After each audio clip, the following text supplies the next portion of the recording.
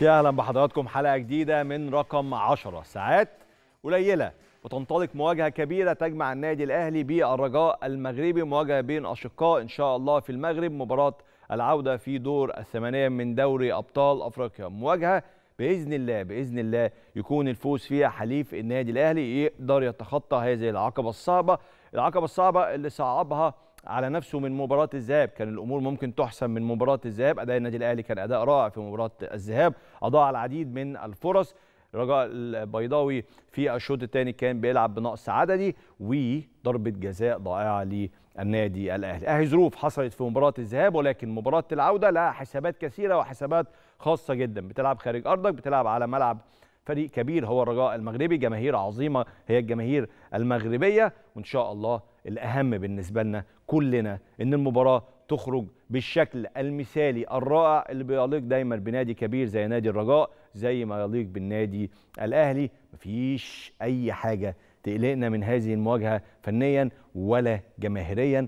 جماهير المغربية دائما جماهير عظيمة وجماهير محترمة وجماهير تستقبل الفرق والمنتخبات المصرية بكل احترام. هي مباراة في أرض الملعب. عايزينها دايما تبقى مباراة في أرض الملعب. واثقين 100% إنها هتبقى مباراة في أرض الملعب. باسم النادي الأهلي وباسم نادي الرجاء تبقى مباراة كبيرة. يفوز من يفوز. إحنا نتمنى فوز النادي الأهلي وصعوده وأكيد الرجاء وجماهيره تتمنى صعود نادي الرجاء. مهم إن المباراة تفضل في أرض الملعب وده اللي إحنا واثقين منه. أما الأمور الفنية عند بيتسو موسيماني بالنسبة للنادي الأهلي فأمور فنية بالتأكيد يلزمها الصبر يلزمها التركيز ويلزمها التأمين الدفاعي الجيد والهجمات المنظمة عشان يسجل هدف يحسم بيه الأمور بدري بدري. كل التوفيق للنادي الأهلي. هنتكلم كتير عن هذه المواجهة تفاصيل هذه المواجهة. إزاي النادي الأهلي يتلافى أخطاء مباراة الذهاب ويستفيد من إيجابيات مباريات الذهاب. كل ده في مباراة العودة إن شاء الله اللي تنطلق خلال ساعات مع صديق عزيز مميز دوما هو محمد جمال. بعد هذا الفاصل خليكم معنا.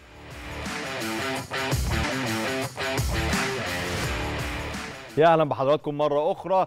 شرفني وينورني الحديث عن هذه المواجهة الكبيرة المواجهة اللي تجمع النادي الأهلي بالرجاء المغربي في إياب دور الثمانية من بطولة دوري أبطال أفريقيا. صديق عزيز مميز دوما محمد جمال المحلل الرياضي. محمد مشرف ومنور دايما بسعد بتواجدك مبسوط إني موجود معاك. أخبارك إيه؟ ربنا يخليك كله تمام؟ زي الفل. خلاص بقت ساعات ساعات قليلة والمباراة تنطلق. المباراة اللي أنا قلت وقررت إنه الأهلي اللي صعبها على نفسه. م. يعني كان مباراة الذهاب كان كل حاجة هتخلص وكل حاجة تبقى محسومة. والأمور اتسهلت على الأهلي سواء على مستوى الأداء اللي قدمه النادي الأهلي تحديدا في الشوط الأول أو حتى بعد النقصان العدد اللي في صفوف الرجاء بعد الطرد.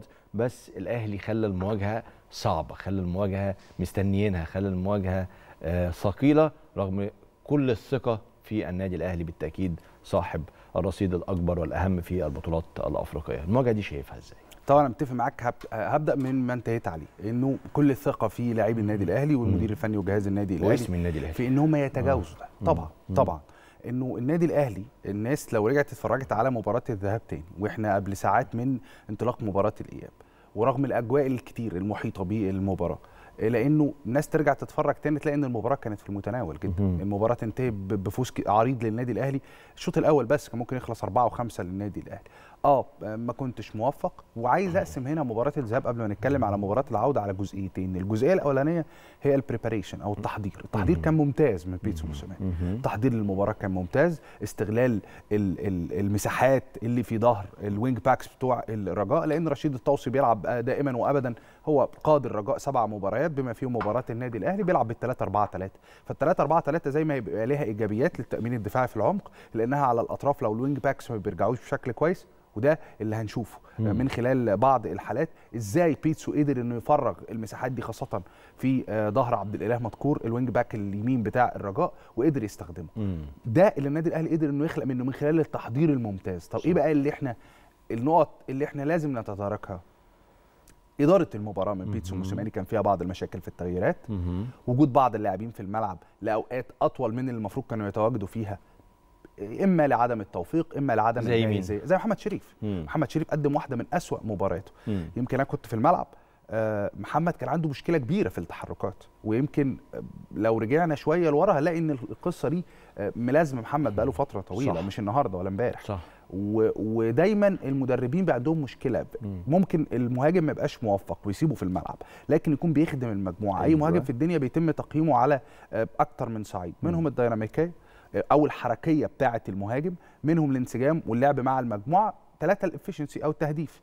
فلما ألاقي المهاجم الناس اقولها آه، الناس بسهولة. ماشي. دايما كان الناس تهزر أو تضحك تقول لك لما بنقول مثلا المهاجم ده بيتحرك كويس المهاجم ده بيشتغل مع الفرقة كويس عماد متعب مع كابتن حسن آه أو حتى مروان مروان محسن مروان لما محسن كان طبعا. يا مروان انت أنت عارف انتقادات عديدة كانت على مروان محسن دايما لما كان مع الأهلي أو مع المنتخب بس كان المدربين يحبوه تحركاته فكرة إنه ينقل اللعب بشكل كويس يشتغل مع المجموعة. تحت ضغط يشتغل تحت المجموعه كويس بس ما كانش بيسجل بنسب كويسة عشان كده الناس كانت بتنتقده. فاللي أنت قلته أنت شفت بالتدريج بتاعك إنه إنه بيكون بيلعب مع زمايله كويس بيلعب مع المجموعة كويس كويس. إنه بيتحرك كويس وآخر حاجة أنت قلتها إنه بيسجل. يسجل أهداف. المشكلة أنت ما إنه عندكش كان عنده الثلاثه الثلاثه كان فيهم مشكلة. آه.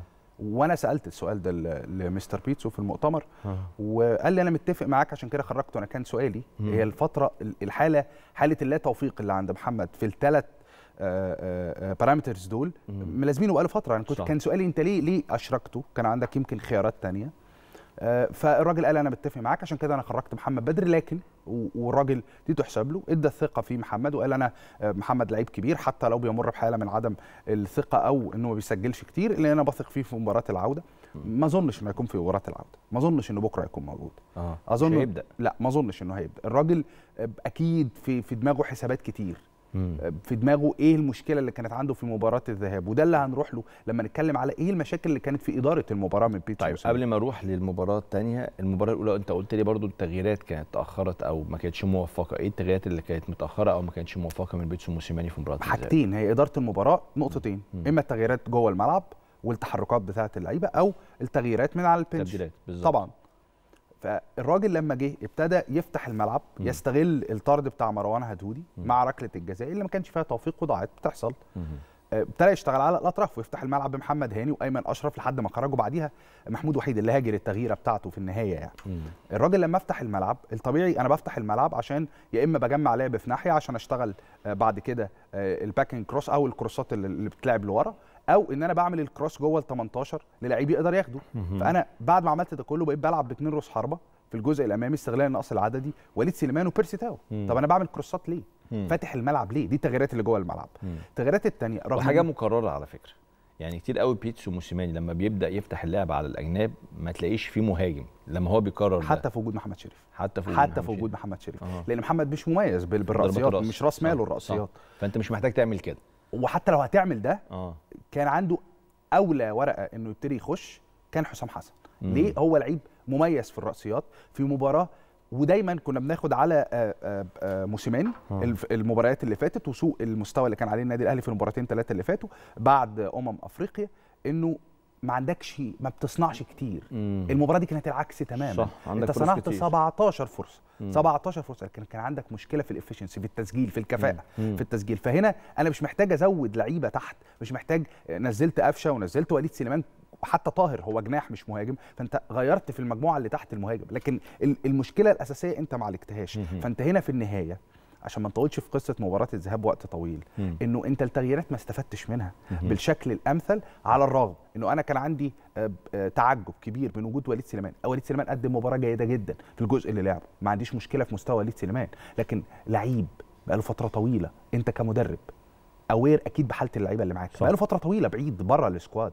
فأنت لما تيجي تدخله وتشركه في المباراة أنا كان عندي علامة استفهام وتاني التغييرات كان أولى إنه في بعض التغييرات تكون موجودة في النهاية آخر آخر بقى تغييرة آه، آه، نقفل بيها مباراة الذهاب إنه لما يكون باقي سبع ثمان دقائق أنا عايز أسجل. عشان المباراة بقت صعبة جدا الفريق مباراة سهلة لا المباراة صعبت عليا إن النتيجة بقت 2 1 وبقى سبع آه، دقائق بالظبط كده آه فأنا آه، عايز أسهل. بقى مباراة العودة آه. فأنا عايز أضغط عشان أجيب جون فاروح مغير ايمن اشرف وانزل محمود وحيد وأنا عندي still مهاجم على ال bench ما نزلوش. دي كانت حالة من ال من ال من التعجب الكبيرة جدا عندي طيب. في التغييرات من النقط الملاحظة جدا في مباراة الذهاب وح... وعايزك تكلمني في مباراة العودة بيها يعني نبدأ مم. بيها مم. إنه still أنا بحس إنه مع بيتسو موسيماني مع طريقة لعب بيتسو موسيماني سواء غير ل 3 4 3 أو 4 4 2 أو 4 4 4 3 3 أي أو 4 2 3 1 أي طريقة بيلعب بيها النادي الأهلي بحس فيه مشكلة في خط دفاع النادي الأهلي. دايما في مشكلة في خط دفاع النادي الأهلي. وأفكر الناس في مباراة الذهاب كان في انفراد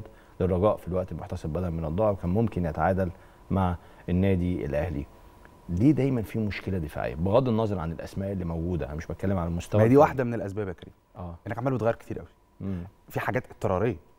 منها الإصابة الطويلة لبدر بنون طبعا مم. أكيد يعني مم. منها الإصابة الطويلة بعد الحالة الجيدة اللي كان عليها رامي ربيعة الإصابة الطويلة شهر يمكن إن شاء الله بداية من شهر مايو إن شاء الله يبتدي يرجع رامي ربيعة لكن مم. انت عمال بتغير كتير جدا جدا في خط الدفاع منها اضطراري ومنها آه، آه، اختياري بيعملوا بيتسو ده ده ده دي النقطة الأولانية. النقطة الثانية كان أفضل احوال الدفاع النادي الأهلي لما بيلعب بالثلاثه ليه لأنه حمدي بيقفلوا ال gap المشاكل اللي عنده لأنه دايما فاكر لما كنا بنتكلم على كارلوس كيروش كنا بنقول نجاح كارلوس كيروش مش هو نجاح الأفراد مم. هو نجاح المنظومة اللي كونها كارلوس كيروش في الحالة الدفاعية لمنتخب مصر مم. نفس القصة أنت عندك مشكلة في المنظومة. اللعيبة بتدافع ولا ما بتدافعش بتقف وبترحل صح ولا لأ مم. علي معلول واحد من نجوم النادي الأهلي واحد من أهم مفاتيح لعب النادي الأهلي عنده مشكلة دفاعية ما نقدرش ما نقولش إنه ما عندوش مشكلة دفاعية فلما بتلعب بأربعة بيحصل حاجة من اتنين خطأ إجباري. مم. إما إن اللعيب ال left center back أو قلب الدفاع ناحية الشمال بيروح يغطي في المنطقة فبيفتح space في العمق أو إنه بيفضل مكانه فبيسيب ال space اللي ورا علي معلول فأنت بتستقبل من الجبهة دي. ولو نرجع ليه الهدف اللي تم استقباله النادي الأهلي من ناحية اليمين. كنا بنتكلم قبل المباراة على ال penetration اللي بيشتغل عليه محسن متولي وحميد أحداد ولما نتكلم على مباراة العودة أنا هنتكلم على نفس في الناحيه في الناحيه الشمال كمان الخ- الخصم أو الناحية اليمين بتلاقي المشكلة دي برضو متواجدة. في غياب أكرم توفيق. يعني أكرم توفيق كان بيعرف يعالجها شوية أو يسدها شوية أكتر كمان من محمد هاني أو حتى كريم فؤاد. يعني دفاعيا ما هي مشكلة الترحيل بقى كريم. آه. ما هو أنت لما بيحصل عندك gap في أي جبهة بتسحب الجبهه كلها لأن الترحيل مم. حتى لو اتعمل صح أنت لو رجعت لبعض اللقطات. آه في, في المباراه المباراه اللي فاتت مباراه الذهاب هتلاقي محمد هاني بيغطي فين في ال left center back مم. محمد هاني بيدخل كل المسافة دي عشان يغطي في ال space. اللي المفروض ما يتواجد- ما يتواجدش فيها مم. فالترحيل ده ما هو بيخليك عبال ما بتعالج فترة بتعالج آه، آه، space أو gap موجود عندك في خط الدفاع في ناحية مم. هيفتح معاك في جبهة مم. أكرم عنده ميزة ال1 في 1 أو الواحد على واحد لأن هو لعيب سي دي إم أو مركز ستة في الأساس فهو ممتاز في الواحد على واحد لكن هاني وأكرم كل الظهراء اليمين اللي موجودين في النادي الأهلي عندهم مشكلة تمركز نوعا ما فهي أعتقد- مش مشكلة أفراد أكتر منها منظومة الله يعني. ينور عليك هي مشكلة. منظومة إن هي مش مشكلة أفراد هي مشكلة منظومة عشان بالمقارنة بكارلوس كيروش اللي أنت ذكرت اسمه مع منتخب مصر إنه الأفراد كانت بتتغير كتير برضه طبعا. بس ما كنتش ابدا تحس بخلل في الدفاع منتخب مصر لأن أنت كنت مكون منظومة حاميهم بلعيبة خط الوسط صح. عشان كده قلت لك أفضل شكل للنادي الأهلي حتى دفاعيا مم. إنك تثبت التشكيل وتحاول إنك تلعب بثلاثه مم. أو 4 3 3 عشان كده أنا متفق معاك إن هي مش القصة بس في في, في الطريقة بالظبط. القصة إن يبقى في لعيب ثالث مم. بيقفل لك ال gaps دي اللي هو حمدي فتحي دايما الجوكر. يا إما موجود ما بين الاثنين center back فأنت بتلعب بثلاثه ورا أو موجود قدامهم زي ما كان بيلعب في منتخب مصر عشان تحمي الاثنين بوجود حمدي فتحي فمهم جدا جدا إنه طيب. تقفل ال gaps دي خاصة الطريقة اللي هيلعب بيها الأهلي في مباراة الرجاء غدا إن شاء الله من وجهة نظرك هتكون إيه الأنسب للأهلي إيه و الأفراد كمان أسماء الأفراد اللي المفروض يشاركوا في هذه المواجهة وإزاي كمان موسيماني يقدر يقسم المباراة. دايما المباريات دي بتبقى محتاجة تقسيمة طبعا. جيدة وذكية من المدير الفني خاصة إنك هتلعب مباراة كبيرة وسط عدد كبير من الجماهير. ملعب الرجاء دايما ملعب حماسي جدا في ضغط وفي توتر بكل تأكيد. يتعامل إزاي موسيماني مع هذه المباراة؟ نقطة مهمة جدا يا كريم انت ربطت ما بين الملعب مم. وحماس الجماهير. 35000 أو 40000 هيكونوا موجودين بكرة إن شاء الله. آه، مركب محمد الخامس دايما آه، سواء بيلعب عليه الرجاء أو الوداد بيبقى ممتلئ عن آخره. آه، الشكل إنك اولا لازم تمتص الرجاء. ده مش معناه إنك تتراجع. لا معناه إنك تعمل hold للملعب. معناه إنك تبقى واقف كويس ومرحل كويس ماسك كويس عامل ال marking كويس قافل ال gaps اللي عندك بشكل جيد. تلعب 4 3 3 ليه 4 3 3 ناس كتير عايزانا نلعب 3 4 3 ناس كتير كانت بتقول إنه دي أفضل طريقة لعب بيها النادي الأهلي. لكن خليني ما هو أنا عشان أختار طريقة أنا لازم أبص للمنافس بيلعب إزاي. المنافس بيلعب 3 4 3 في كل المباريات اللي فاتت. هل هيلعب لما نيجي للرجاء؟ أقول هيلعب هل هيلعب 3 4 3 ولا لأ؟ لكن 3 4 3 أنا بأمن بيها الخط الخلفي بشكل كبير لكن لما بيكون بيطرح عليا بلعيب واثنين أو إن الفريق اللي قدامي بيلعب إذا كان الفريق اللي قدامي أصلا ما عندوش مهاجمين الفريق اللي قدامي بيلعب حتى المهاجم اللي عنده هو shadow striker حميد أحداد. بيلعب في ال space فين؟ اللي جه منها الجون. الأول اللي احرزه الرجاء في القاهرة اللي هو منين penetration تجميع لعب ناحية اليمين محسن متولي الجناح بيسقط معاه ويبتدي الترحيل العكسي اللي إحنا اللي انت كنت بتتكلم عليه اللي هو المشكلة الدفاعية عند النادي الأهلي لما الملعب بيتحرك كده لو الناس شايفة إيدي لما الملعب لما بيتحرك كده المهاجمين بتوع الرجاء بيتحركوا معاك لأنه بيجمع اللعب ناحية اليمين فمين اللي دخل جاب الجون؟ محمد زريدة الجناح الشمال. دخل جوه العمق فهو بيجمع ناحية اليمين وهي دي طريقة اللعب. الرجاء بيعتمد على حاجتين مهمين جدا جدا جدا في طريقة لعبه. ال set play إنه بيجمع اللعب ناحية اليمين وبعد كده يبتدي ينقل ناحية الشمال أو في العمق بال crosses أو كور آه، بيتم إرجاعها للخلف. التجميع ده بيتم بمحسن متولي وحميد أحداد ومعاهم محمد زريدة اللاعب الثالث اللي متألق بشدة الموسم الحالي. الطريقة الثانية هي ال set pieces مم. اللي مهمة جدا. الأهلي نجح تماما في السيطرة عليها في مباراة الذهاب. لكن مهم جدا جدا جدا تحت الضغط الجماهيري ده حالة التركيز والترحيل والمسك. لازم تبقى ماسك واقف بشكل كويس جدا.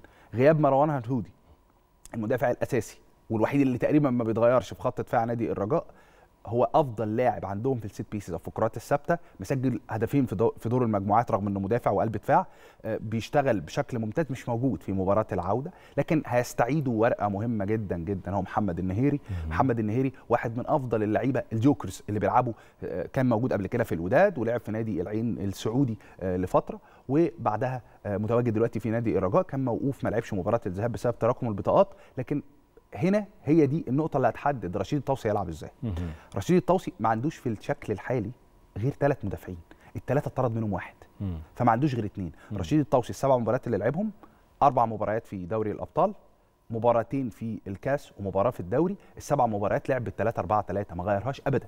مهما حتى كان بيغير الأسامي كان مريح مجموعة من اللاعبين في مباريات الكاس لكن ما غيرش. 3 4 3 لكن دلوقتي هو أمام اختبار صعب ما عندوش لعيب ثالث يلعب في الخط الخلفي. عنده آه إلياس حداد موجود وجمال حركاس الاثنين موجودين. دول ال- الثلاثي المكمل لمروان هدودي. مين بقى يخش يلعب ثالث معاهم؟ هو ده اللي بيفكر فيه. هل هيدخل اسامه أسامة سكحال ال back left اللي لعب مباراة النادي الأهلي اللي هو ال wing back ويخش يلعب معاهم ثالث ولا يلعب محمد النهيري اللي را... اللي راجع آه، بعد الإيقاف في مباراة الذهاب ويكون موجود لأن محمد النهيري لك أن تتخيل محمد النهيري لعب مع منتخب المغرب للمحليين ومنتخب المغرب الأول والوداد والرجاء والعين السعودي لعب في كل مراكز خط الدفاع ولعب في الجناحين لعب في ست أو سبع مراكز في الملعب ورقة مهمة جدا جدا لازم يتم التركيز عليه. محمد النهيري لعب في ال left center back وفي ال right center back وفي ال right back وفي ال left back جناح اليمين والجناح الشمال. لعب في كل المراكز دي. فمحمد النهيري ورقة مهمة جدا هتحدد مين اللي هيلعب ثالث لو أصر رشيد الطوسي إنه يلعب بثلاثه في الخط الخلفي. ف 3 4 3 هتسمح بنفس المشاكل اللي كانت موجودة عند الرجاء. ومن هنا لما نقول إن الرجاء هيلعب ب 3 4 3 بنفس الشكل خلينا آه، نقول كمان التشكيل المتوقع للرجاء آه، بكرة إنه هيكون عنده ال- الثلاثي لو دخل النهيري في العمق هيكون عنده جمال حركاس إلياس حداد ومحمد النهيري أسامة سكحال ناحية الشمال عبد الإله مذكور ناحية اليمين هيلعب باثنين في قلب الملعب فابريس نجومه ومحمد المعكازي. دول اثنين إحنا كده بنتكلم على انه لعب بثلاثه أربعة في خط الوسط والثلاثي الأمامي اللي ما بيتغيروش محسن متولي محمد زريدة وحميد احداد الثلاثه أربعة ثلاثة والشكل ال- التشكيل المتوقع للرجاء اللي يلعب بيه بكرة لازم تقابله انت انت إزاي تقفل عليهم الملعب بالشكل ده. لما تلعب 4 3 3 في وجود الرباعي اللي موجود المباراة اللي فاتت هو نفس الرباعي محمد عبد المنعم ياسر إبراهيم قلبين دفاع. ناحية اليمين بمحمد هاني ناحية الشمال بعلي معلول. لو ربنا أراد لأنه لسه يعني مم. إحنا لسه بنتكلم باقي ساعات لكن لسه الراجل بيفكر هل مم. آه، يتم إشراكه ولا آه، آه، يرجع تاني لأيمن أشرف اللي لعب مباراة الذهاب وسط الملعب ووسط الملعب هيلعب بالثلاثي حمدي فتحي قدام الاثنين عشان يحمي خاصة الناحية الشمال ودي نقطة مهمة كنت بتتكلم عليها كريم مم. الترحيل مم. وال gaps مم. وال- والمشاكل اللي النادي الأهلي بيتم اختراقه عن طريقها فين؟ ال space اللي. موجودة ما بين قلب الدفاع سواء ناحية اليمين أو الشمال. صح. قلب الدفاع اليمين وال back right قلب الدفاع الشمال وال back left مين القادر إنه يشتغل في ال space دي؟ وحمدي فتحي. اثنين قدامه آه، اليو ديانج وعمرو السولية وثلاثي أمامي. لا زالت الحيره أكيد في راس بيتسو إنه آه، يمكن زي ما قلت. لك من شوية أنا سألته في المؤتمر مم. حسيت إن شريف ممكن ما يكونش فأنت موجود. شايف إن بيرستاو ممكن يبقى ممكن موجود مين على اليمين وعلى الشمال آه، آه، يشتغل بحسين الشحات اللي قدم شوط أول ممتاز في مباراة الذهاب وعلى الشمال أعتقد اللي هيكون. موجود على ال- الناحية الشمال هو أحمد عبد القادر جمال أنت شرفت ونورت ودايما بستمتع جدا أنا دايما ببقى وأنت معايا ببقى مستمع جيد وبس حبيبي بقدر أخش معاك في. النقاش عشان ما شاء الله يعني أداء رائع جدا أنا مستمتع بيك. ومبسوط إن أنا موجود معاك كالعادة أشكرك يا جمال حبيبي. جزيلا دي كانت نهايه حلقتنا النهارده من رقم 10 كل التوفيق إن شاء الله للنادي الأهلي في مواجهة الشقيق الرجاء المغربي مواجهة كبيرة بين فريقين محترمين في القارة الأفريقية. إن شاء الله تخرج بالشكل الأمثل وإن شاء الله تخرج بانتصار للنادي الأهلي وصعود إلى الدور القادم. أشوفكم يا رب على